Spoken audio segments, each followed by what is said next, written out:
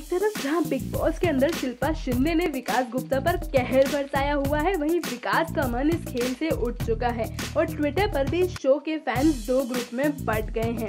जी हाँ कुछ लोग कह रहे हैं कि शिल्पा बहुत अच्छा खेल रही हैं, तो वहीं कुछ लोगों का मानना है कि विकास बहुत ही चतुराई से इस खेल में आगे बढ़ रहे हैं। हाल ही में बिग बॉस के तीसरे सीज़न के विनर बिंदु दारा सिंह ने विकास को खूब सराहा है। वहीं टीवी के हैंडसम हंग एलिगोनी भी अब विकास के सपोर्ट में उतर आए हैं। सीरियल ये है, मोहब्बतें में रोमी का किरदार निभाने वाले एली, जहाँ सोशल मीडिया पर विकास को सपोर्ट कर रहे हैं, वहीं वो शिल्पा पर भी निशाना साधने से नहीं चुके।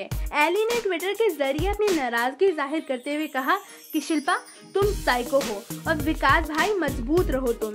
पिछले टास्क के बाद जब विकास जेल गए, तब शिल्पा ने उन्हें काफ़ी परेशान किया और उन पर काफ़ी ज़्यादा पर्सनल कमेंट्स किए, जिसे तंग आकर विकास ने भागने की कोशिश की। शिल्पा ने उन्हें इतना तंग किया कि बिग बॉस ने उन्हें कन्फेशन रूम में बुलाकर पर्सनल कमेंट्स ना करने की हिदायत तक दे डाली। यही सब देखकर एली ने शिल्पा को लेकर ट्वीट किया।